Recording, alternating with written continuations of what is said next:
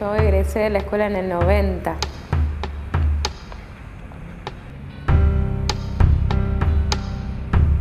Y digamos que desde el 90 hasta el 2010, justo 20 años, no había vuelto a entrar al edificio. De alguna manera el documental fue esa gran, maravillosa excusa que me permitió volver a caminar esos pasillos.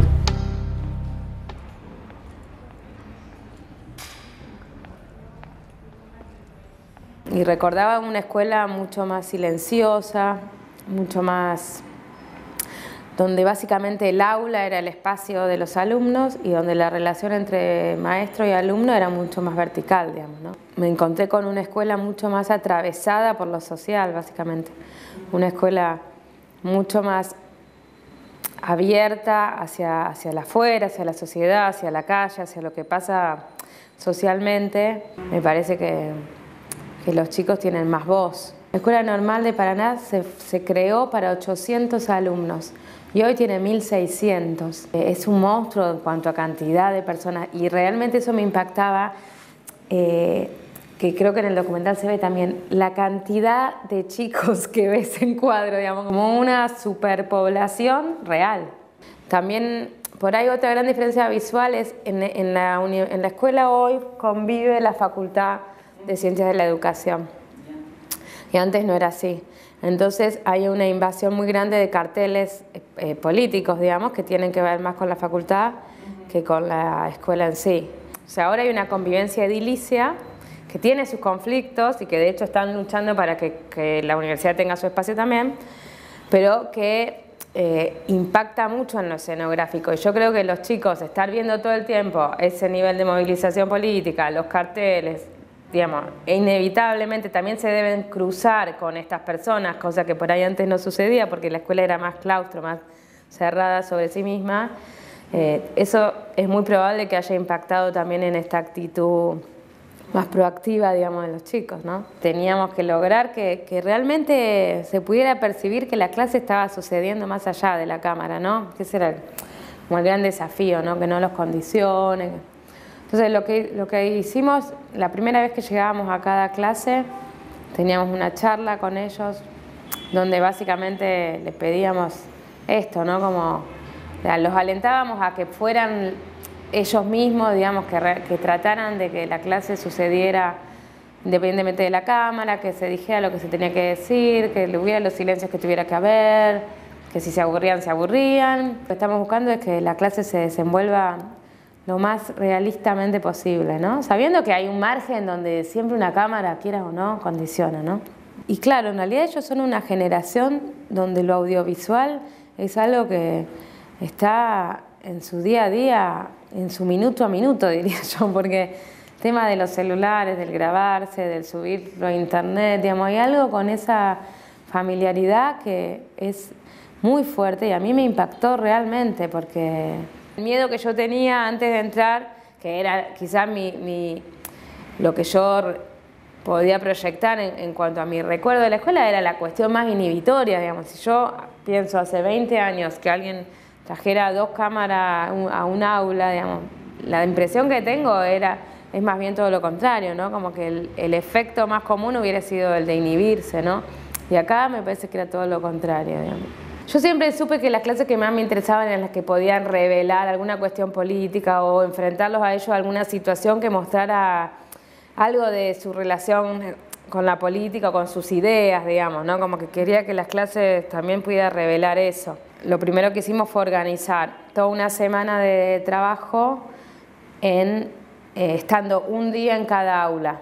Y a partir de esa primera semana de estar toda la mañana ahí en cada curso, empezaron a surgir como otras líneas narrativas, ¿no? Desde eh, eh, lo más concreto que fue todo el desarrollo y el trabajo de los chicos para encarar la votación para el centro de estudiantes y también, bueno, apareció con más fuerza el personaje de Macacha, que es la jefa de preceptores, y Macacha pasó a ser como este gran personaje que, que de alguna manera nos traía a la institución.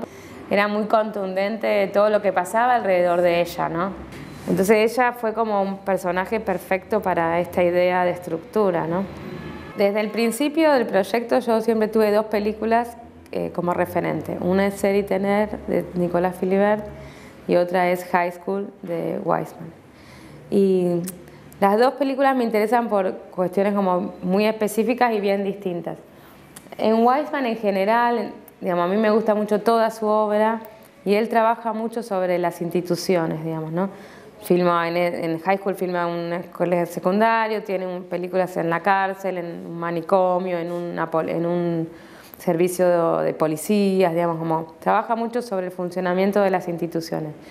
Eh, y por otro, otro lado, Ser y Tener, eh, que trabaja en una escuela rural, por un lado me interesaba como la idea de la puesta de cámara, que es una cámara fija, digamos, una cámara que claramente se planta frente a la situación y, tiene la paciencia de esperar que esa situación se revele, esa situación en la vida real, digamos, se revele frente a la cámara en lugar de estar buscando todo el tiempo una situación, que por ahí es algo más común en los documentales. Entonces, eh, la idea se planteó de entrada como, bueno, encontrar ese punto de, de equilibrio donde sí pueda estar el análisis de la institución y su funcionamiento, pero sin perder de vista que los actores de esa institución son seres humanos y que también me interesa a mí como realizadora, digamos, rescatar el, elemento humano por sobre todas las cosas, digamos, ¿no? Entonces para mí fue muy liberador, fue sentir que, bueno, yo podía tirar una piedra y después tenía que ver que, bueno, esperar y confiar a, que, a lo que pasara a partir de eso, ¿no? Pero no estar manipulando cada, cada cosa, ¿no? Entonces para mí fue como un espacio de libertad y de, y de, disfrute, digamos, porque iba con, mucha, con mucho interés y con mucha, con mucha inquietud de, bueno, a ver, ¿qué, qué, qué logramos captar hoy? ¿no? Obviamente el desafío es poder estar ahí para captar eso que iba a pasar y no estar con la cámara para otro lado, ¿no? Como, eso quizás es como el desafío, pero, pero creo que siempre estuvimos como a la altura de lo que quisimos. Esta escuela donde se realizó el documental no es cualquier escuela pública, sino que es la primera escuela normal fundada por Sarmiento. Entonces, esto también fue un elemento más que me hizo elegirla. No, estaba, no es solamente la cuestión autobiográfica en, ese hecho, ¿no? sino que también sentía que, como bueno, de cara al Bicentenario era un lugar interesante para hablar de cómo está la educación hoy en Argentina, ¿no? habiendo sido este semillero, digamos, de maestros que que fue el origen de la escuela normal.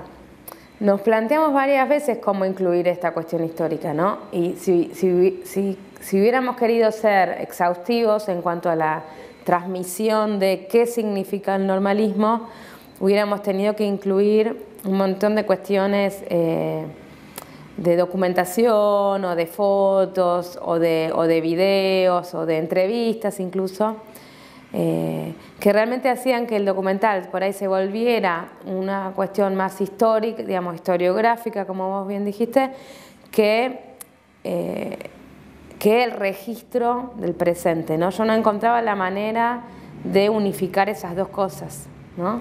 porque también el hecho de hacer entrevistas a cámara eh, me obligaba como a, llevar la estructura hacia otro lado, digamos, a, distanciarme, a separarme de esta idea de observación ¿no? y de registro. Los jóvenes para mí son la base de nuestra sociedad y son el futuro, entonces me interesó especialmente mostrarlos desde este ángulo, desde este punto de vista y, y valorizarlos en ese sentido. ¿no?